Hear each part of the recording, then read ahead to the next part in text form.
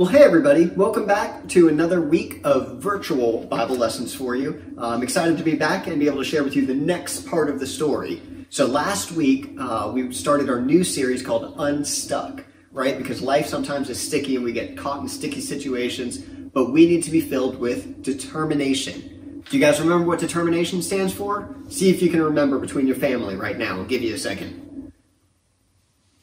Any of you guys get it? Remember, determination is deciding it's worth it to finish what you've started.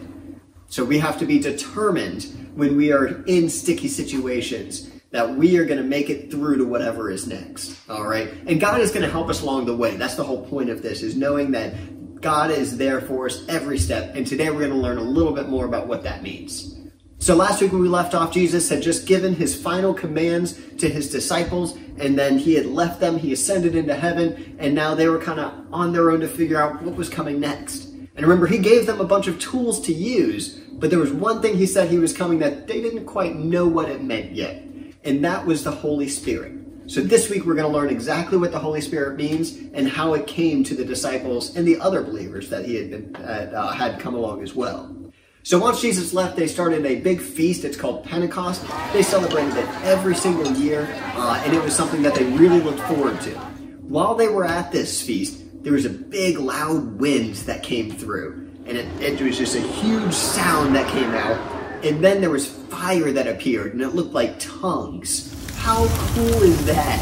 Fire that looked like tongues that came out of nowhere, and then the fire rested on the believers.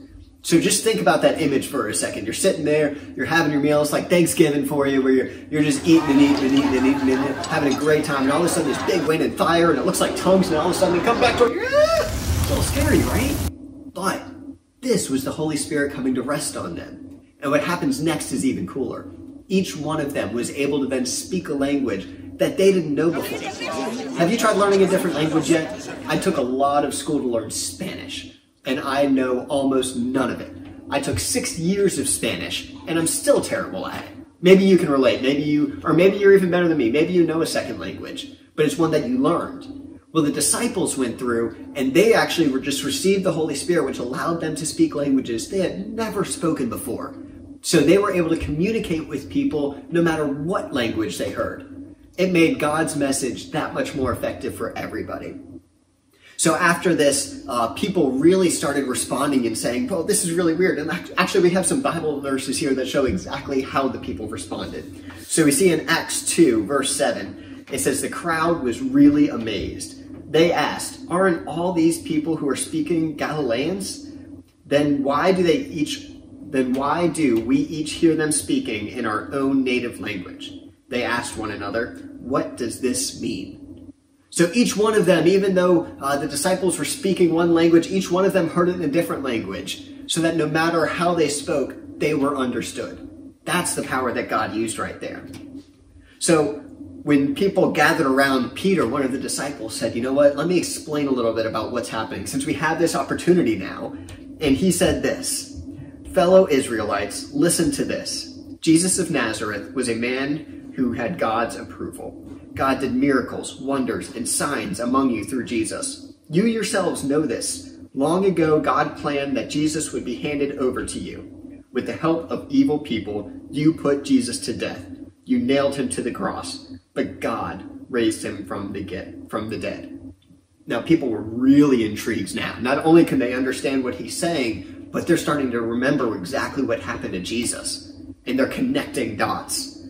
So Peter had something else to say that really started to move them. He said this So be sure of this, all you people of Israel, you nailed Jesus to the cross, but God has made him both Lord and Messiah.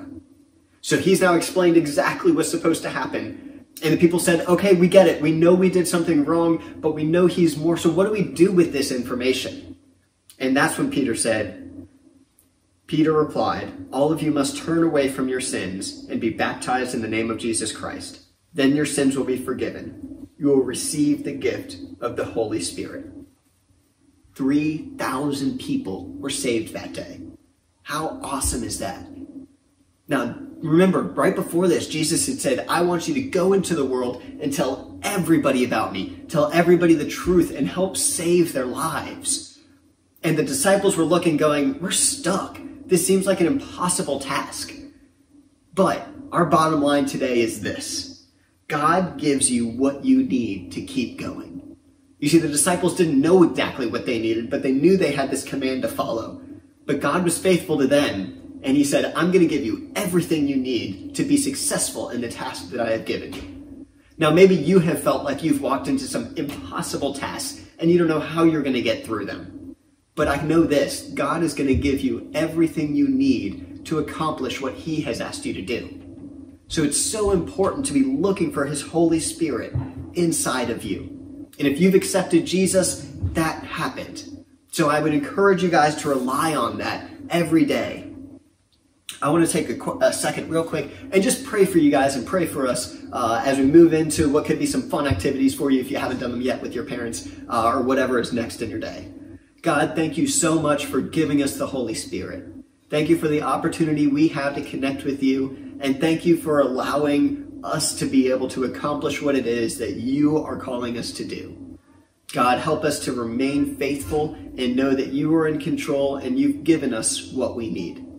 Into everything we pray in Jesus' name. Amen. Thank you guys so much for watching. I'm excited for next week. We will continue our Unstuck series, and I will see you then.